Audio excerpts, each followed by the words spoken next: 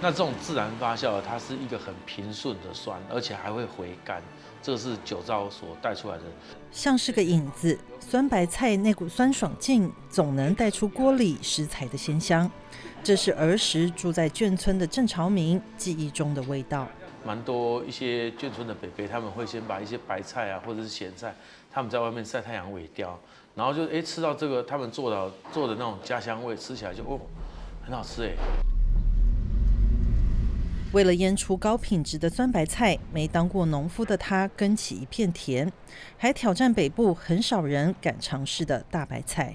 北部的话，它因为雨水比较多，然后它的呃土壤是属于红土，那它的保水性比较高，所以它就比较容易烂根。所以它得加高洗面，想办法排水，要时不时的来拔草对抗虫害。身为食品加工厂老板，直接从南部进大白菜不是比较简单？何必自己当农夫？就是时间到，就是要来做这件事情，我都会想说，哦，好冷啊，或是说下雨天啊，可以隔一天或两天。他说没办法，那个菜吃掉了就完全都没有了。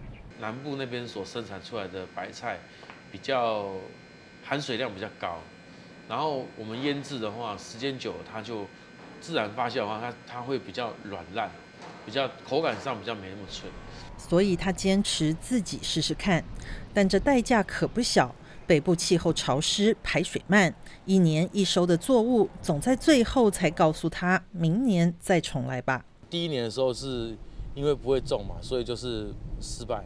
第二年种的时候不晓得种多久可以采收，所以就种到开花。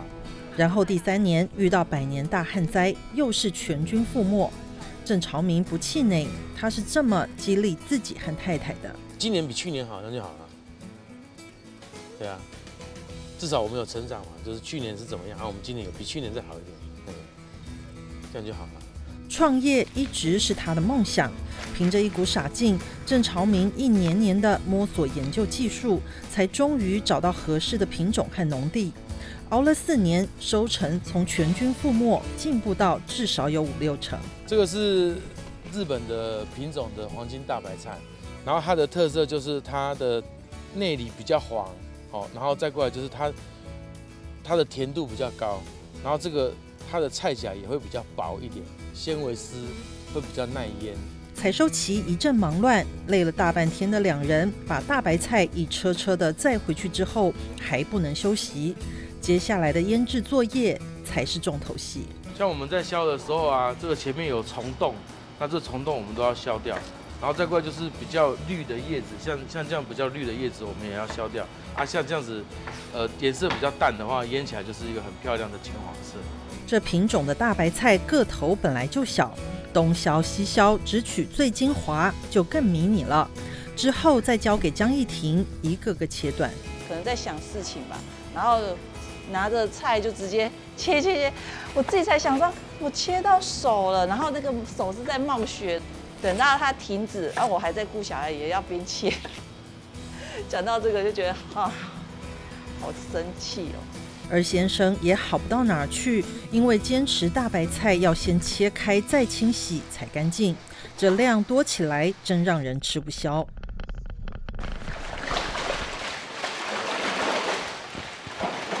吃起来上次寒流的时候好像剩几度，我们新屋好像剩下个位数的，那个洗到最后会会会没知觉。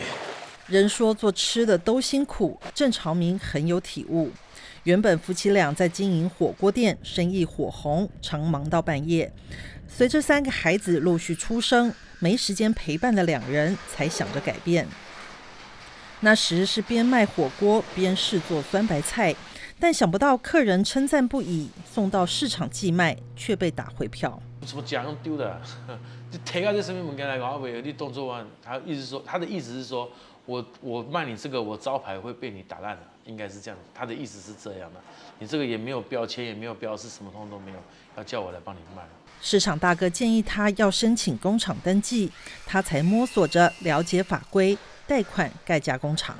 但新的难题来了，产量一放大，腌制程序都得打掉重练。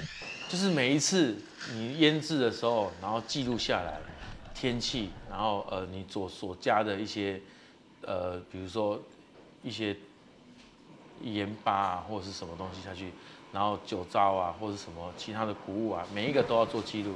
为了在酸味和脆度上取得完美平衡，他做了许多实验，像是传统是用洗米水腌制，他改用红高粱酒糟作为发酵菌种，重复发酵二十四天。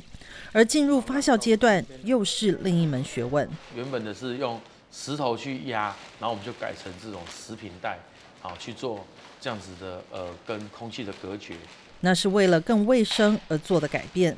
每隔两三天，郑朝明就得隔着塑胶袋用力挤压翻搅酸白菜，十足的体力活，让里面的氧气呀，或是里面的一些不好的气体可以排泄出来，让发酵比较完全。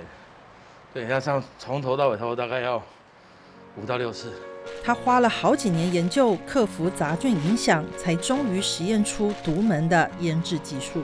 真正的腌制完成的是一个很清香的苹果香的味道，它是散发出淡淡的酸味，并不是呛酸。也就是说，我们不外加一些醋精或者是一些添加物啦。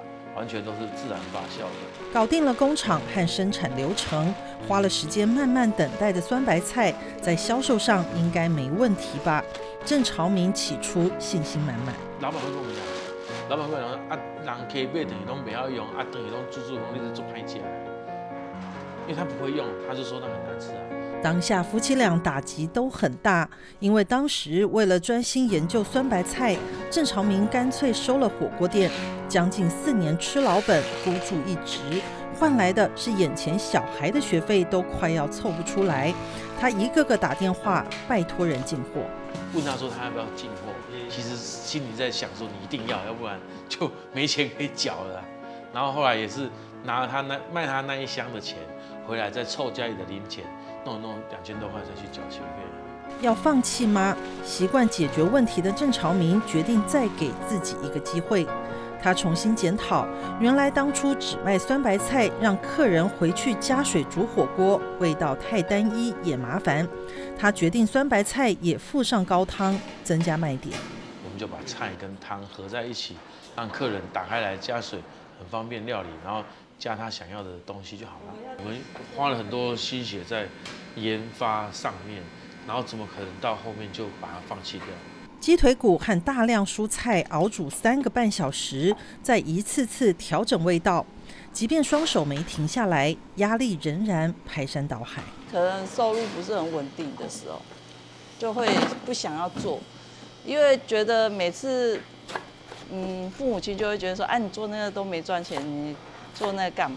尤其郑朝明的性格，事事要求完美，一直以来都陪着他吃苦的江艺婷，熬了几年，再也承受不了，逃回娘家。我离开，他还是默默自己在做，因为我知道他的个性就是，反正你走了，他还是自己在做。然后我我走了一两天，我还是默默的要回来去帮他，要不然他一个人做真的是。这些年，这家人最常吃的大概就是自家的酸白菜火锅了。没有享受美食的闲情，而是不断试味道、调整再调整。但郑朝明还是没信心，他向太太提出建议：就是我们不要去参加食品展，把食品展的钱，然后我们就转去做这个食品评鉴，这样子，至少让有公信力的人，呃，怎么讲，肯定我们的产品品质